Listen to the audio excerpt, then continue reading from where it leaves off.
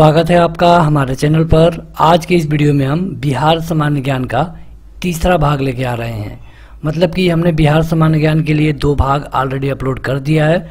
आपको उनका लिंक इसी वीडियो के डिस्क्रिप्शन में या फिर पहले कमेंट बॉक्स पे मिल जाएगा। तो चलिए शुरू करते हैं ये वीडियो। सब्सक्राइब करिए स्टडी फॉर जॉब चैनल को और बेल आइकन को दबाइए लेटेस्ट अपडेट सबसे पहले पाने के लिए। ये वीडियो शुरू करें, उससे पहले आपको बता दें कि यहाँ पर इस वीडियो में कुल मिला के पच्चीस क्वेश्चन आएँगे। आपको एक समय पर एक क्वेश्चन दिखेगा, उसके चार विकल्प दिखाए जाएँगे। तो समय रहते आप अपना उत्तर हमें कमेंट करके बताते रहेंगे। तो चलिए शुरू करें। देखिए, पहला क्वेश्चन है कि चंद्रगुप्त मौर्य के गुरु थे और यहाँ पे आपको ऑप्शन मिल जाएँगे। इनमें से सारे क्वेश्चन बिहार से ही रिलेटेड होंगे। तो यहाँ पे आपको अपना उत्तर हमें कमेंट करके बताना है। तो चंद्रगुप्त मौर्य के गुरु का नाम था चाणक्य, और इन्हें विष्णुगुप्त के नाम से भी जाना जाता है। इन्हें विष्णुगुप्त के नाम से जाना जाता है, और ये मौर्य वंश के, जो मौर्य वंश का स्थापना हुई, इसमें इनका विशेष रोल रहा। अगला क्वेश्चन कि रामचंद्र शर्मा किस गाँव से थे? रामचंद्र शर्मा। तो यहाँ पे हम दो से तीन सेकंड रुक रहे हैं, ताकि आप अपना उत्तर हमें कमेंट करके बता दिया करें तुरंत। तो ये थे अमराहा से। कहाँ से थे? अमराहा से। अगला क्वेश्चन कि बिहार का शोक निम्नलिखित में से किसे कहा जाता है? बेहद आसान क्वेश्चन तथा महत्वपूर्ण भी है। इस क्वेश्चन को आप स्टार मार्क कर लेंगे। ये स्टार मार्क करने लायक क्वेश्चन है क्योंकि कई बार पूछा जा चुका है। बिहार का शोक कहते हैं कोसी नदी को, जो कोसी नदी है। इसको कहते हैं बिहार का शोक। अब इसे बिहार का शोक क्यों कहा जाता है? तो ऐसा इसलिए होता है कि जब भी इसमें ज़्यादा पानी होता है, ये बिहार के लिए तबाही लेके आती है। जिस प्रकार जो दामोदर नदी है, उसको बंगाल का शोक कहते हैं, पश्चिम बंगाल का, उसी तरह जो कोसी नदी है, उसको बिहार का शोक कहा जाता है। अगला क्वेश्चन उससे पहले आपको बता दें कि अगर आप इसका पीडीएफ डाउनलोड करना चाहते हैं तो आपको लिंक इसी वीडियो के डिस्क्रिप्शन में मिल जाएगा।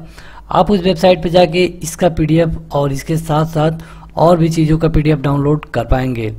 अगला क्वेश्चन है कि बिहार में तेल शोधक कारखाना कहाँ पर है? तो इसके लिए सही उत्तर है बरौनी में। बिहार में जो तेल शोधक कारखाना है, इनमें से बरौनी में है। अगला क्वेश्चन कि कांग्रेस सोशलिस्ट पार्टी की पहली बैठक कहाँ पे हुई थी? कांग्रेस सोशलिस्ट पार्टी की पहली बैठक कहाँ पे हुई थी? तो ये हुई थी पटना में। कांग्रेस सोशलिस्ट पार्टी की पहली बैठक पटना में हुई थी और पटना बिहार की राजधानी भी है। अगला क्वेश्चन कि बिहार में बहने वाली नदियों में से किसका उद्गम अमरकंटक से है? तो ये है सोन नदी। सोन नदी है और ये आती है कहाँ से? अमरकंटक की पहाड़ियों से। तो इसके लिए सही उत्तर हो जाएगा ऑप्शन नंबर बी। आगे बढ़ें तो अगला क्वेश्चन है कि बिहार में डालमिया नगर किसके लिए प्रसिद्ध है? तुरंत अपना उत्तर कमेंट करके बता दिया करिए। तो इसके लिए सही उत्तर है कि ये चमड़ा के लिए प्रसिद्ध है। अगला क्वेश्चन कि इनमें से कौन बिहार में किसान आंदोलन से जुड़े थे? जो बिहार में किसान आंदोलन हुआ था, उससे कौन जुड़ा था, ये आपको कमेंट करके बताना है।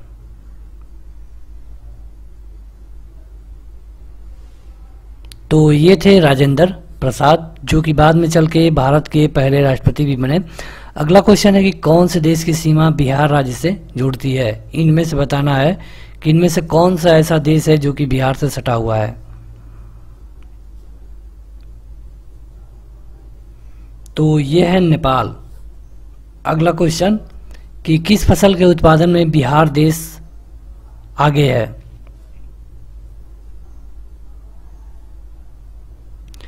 तो ये है मखान। क्या है? मखान। क्योंकि चावल की अगर बात की जाएगी तो हो जाएगा पश्चिम बंगाल। अगर गन्ना की बात की जाती है तो हो जाता है उत्तर प्रदेश। अगला क्वेश्चन कि कोकोलत जलप्रपात बिहार के कौन से ज़िले में स्थित है? कोकोलत जलप्रपात। तो जो कोकोलत जल प्रपात है यह है नवादा ज़िले में। आप इसका वीडियो का, इसका वीडियो का जो भी पीडीएफ है आप डाउनलोड कर पाएँगे, लिंक दिया गया है। अगला क्वेश्चन है कि श्री नरसिंह नारायण क्या थे? नरसिंह नारायण। तो ये थे समाजवादी। अगला क्वेश्चन कि आम की वह प्रजाति कौन सी है जो केवल बिहार में उपजाई जाती है? मतलब कि केवल बिहार में होती है। तो आम की ऐसी प्रजाति को कहते हैं सफ़ेदा, और सफ़ेदा एक ऐसी आम की प्रजाति है जो केवल बिहार में उत्पन्न होती है। अगला क्वेश्चन कि पूर्वी मध्य रेल, रेलवे क्षेत्र का मुख्यालय कहाँ पर स्थित है? पूर्वी मध्य रेलवे क्षेत्र।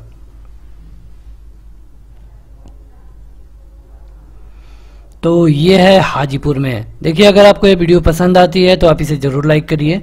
आपको बता दें कि इसके और भी पार्ट ऑलरेडी अपलोड है, आपको उनका लिंक इसी वीडियो के डिस्क्रिप्शन में मिल जाएगा। अगला क्वेश्चन है कि निम्नलिखित झीलों में से कौन सी बिहार में स्थित है? कौन सी बिहार में स्थित है, ये आपको बताना है। तो ये है अनुपम झील। अनुपम झील बिहार में स्थित है। अगला क्वेश्चन कि जयप्रकाश नारायण कौन से पार्टी से जुड़े हुए थे? जयप्रकाश नारायण का आपने नाम सुना होगा। अगर आप बिहार से हैं तो। तो ये जुड़े थे समाजवादी पार्टी से। अगला क्वेश्चन कि बिहार की कौन सी नदी पर बहुउद्देशीय परियोजना का निर्माण कार्य किया जाता है?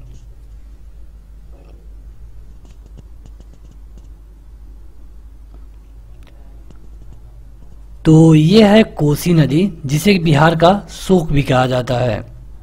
अगला क्वेश्चन कि निम्नलिखित में से कौन सा शहर बिहार के सबसे पूर्वी भाग में स्थित है? मतलब कि इनमें से देखना है आपको कि कौन सबसे पूर्व में स्थित है। तो ये है कटिहार। अगला क्वेश्चन कि जगत नारायण लाल को किस जेल में भेजा गया था? जगत नारायण लाल को कौन से जेल में भेजा गया था?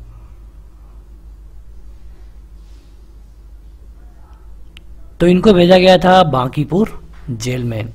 अगला क्वेश्चन कि बिहार में केला उत्पादन का प्रसिद्ध क्षेत्र कौन सा है? केला उत्पादन का प्रसिद्ध क्षेत्र।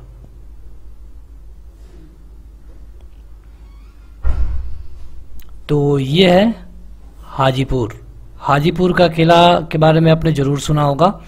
अगला क्वेश्चन है कि बिहार केसरी के नाम से किसे जाना जाता है? बिहार केसरी।